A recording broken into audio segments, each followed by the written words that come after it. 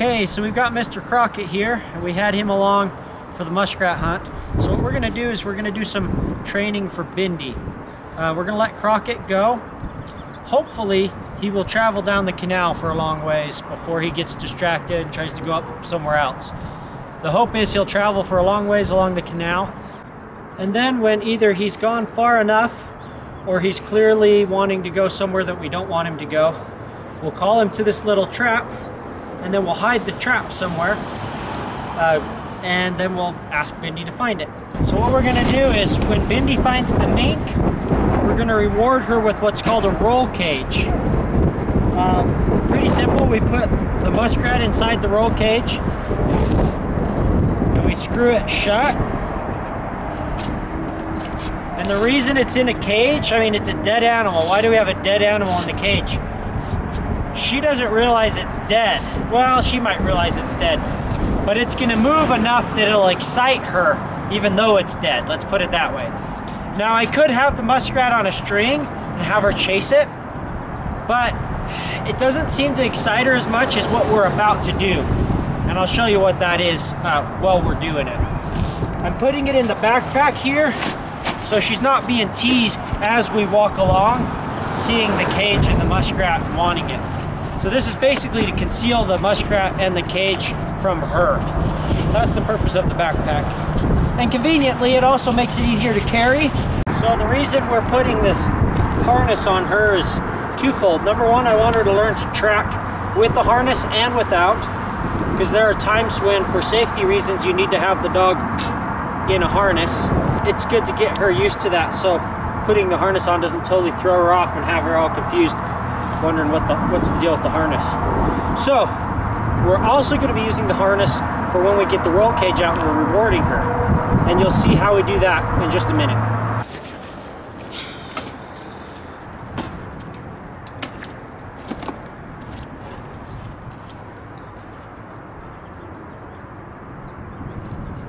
Beep, beep, beep. Where's the? There you go. There you go. Mink.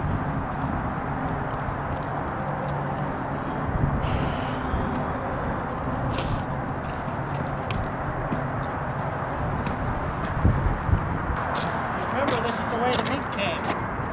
He ran up this way. That's a good girl. She's following the trail perfectly. Oh, good girl.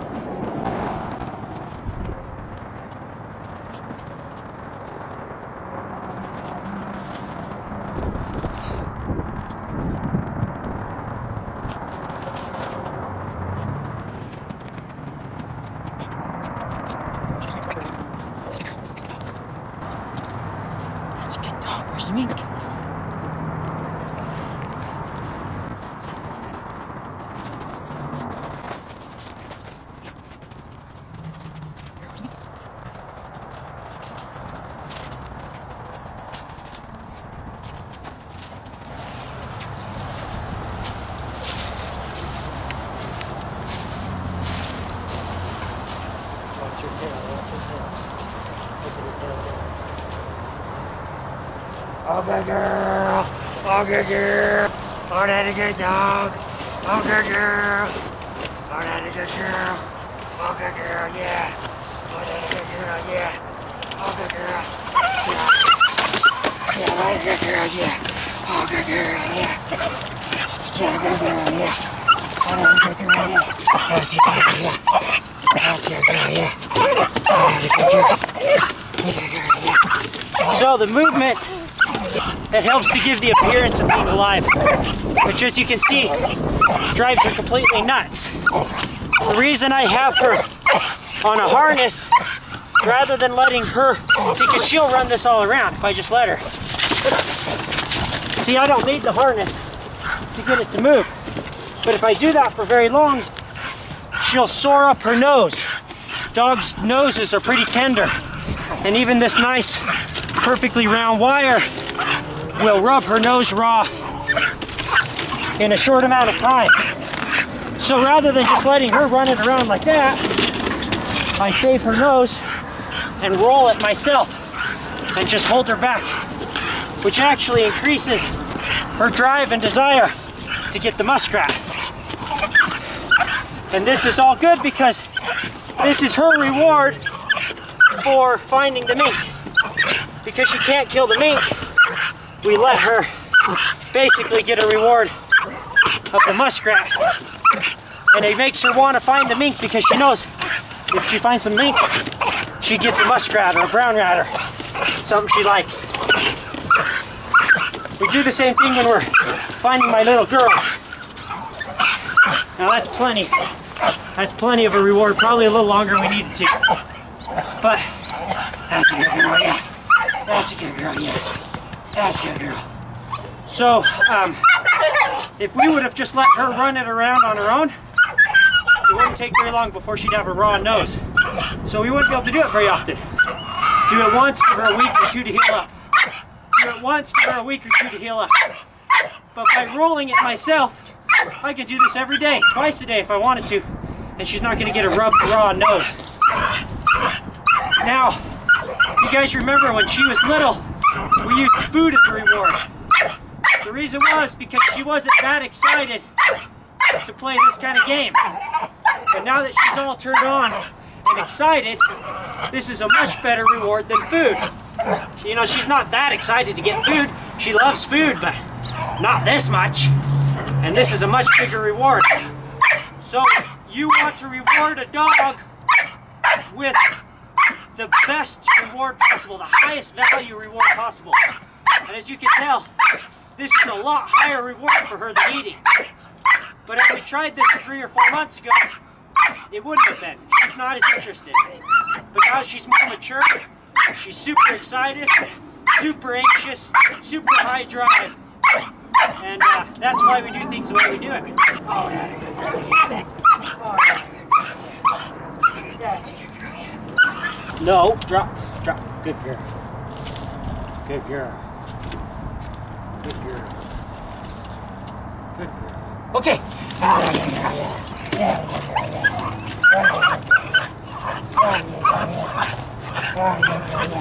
Drop. Bindi, drop. Bindi, drop. Drop. Bindi, drop. Bindi, drop. Bindi, drop. Drop. Drop. Oh, daddy good. No, drop. Daddy good girl.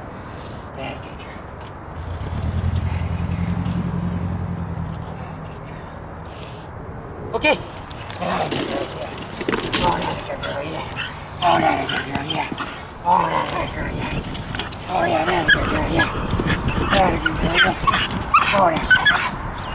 So, we're to start what I was just doing. We're done for today. She's had more than enough. We're to start making that part of the training. She needs to learn to control herself well and drive, which right now she doesn't know how to do. We purposefully waited to teach her to control herself because we want her crazy like this, crazy for the prey. But now she's getting mature enough, we're gonna start teaching her to control herself while she's in that high, high drive state. That's good But you don't want to start teaching her self-control until she's going totally bonkers like this. That's good. That's. Okay, drop, drop, Bindi, drop. Bindi, drop. Drop. Drop. That's yes. That's a good girl. That's. Good girl. Good girl. Good girl. Good girl.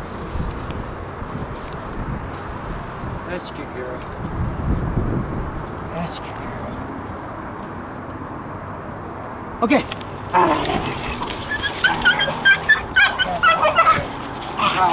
Good girl, yeah. That's a good girl.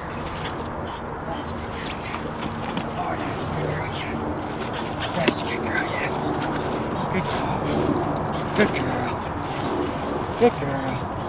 Yeah, that's a good girl. That's a good dog. That's a good dog. That's a good dog. That's a good girl. Yeah, that's a good girl. That's a good girl. That's a good girl. Oh, you're such a good puppy. Yes. Oh, you're such a good puppy. Yes. Uh-uh. Oh, you're such a good puppy. Oh, you're such a good puppy. One thing I wanted to show you is, you know, she's going nuts over that muskrat in a cage.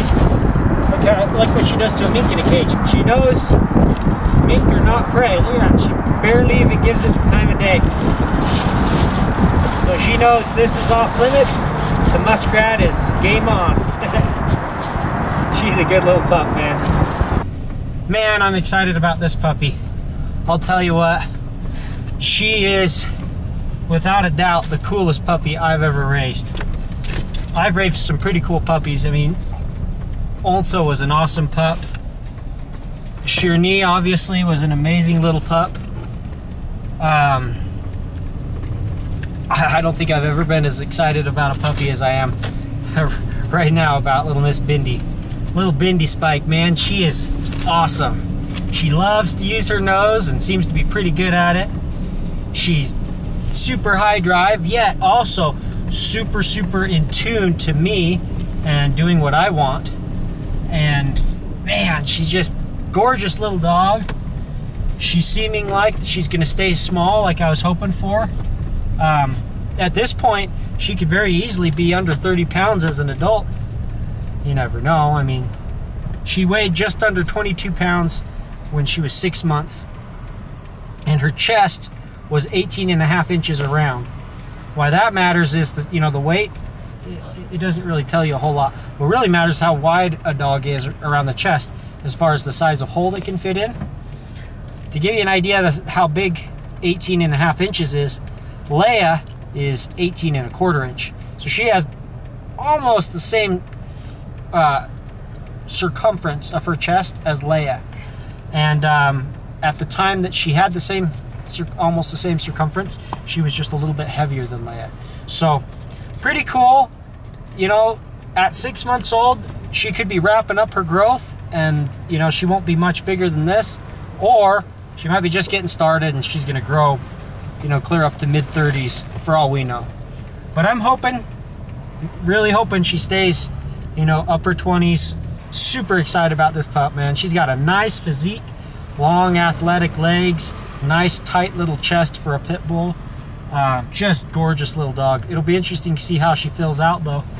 A lot of times dogs go through different growth stages and, and they, as puppies, can look very different from the way they do as an adult. So only time will tell how she ends up. But man, her personality is awesome. She is a fun little pup. Now, I'm sure you guys are familiar with YouTube censorship. They've got some serious censorship issues going on in YouTube, and their policies are constantly changing. So I created the Minkman's Exclusive Club, where I can share these exclusive videos as well as give you guys a more behind the scenes look at our lives and how we train our animals. In YouTube, you guys see one or two videos a week, whereas I'm typically posting anywhere from three to six videos a week on my Minkman's exclusive club. Now this club is more than just videos. People can ask me questions directly. They can even send me private messages. I can also share interesting stories that maybe I didn't capture on video. I can share interesting statistics on my different mink or dogs and really just give you guys an inside look on what we do and on my animals' lives. I really appreciate you following me here on YouTube, but if you want to get a behind the scenes look and be able to watch these exclusive videos that YouTube censors out, you'll need to join us on Minkman's exclusive club.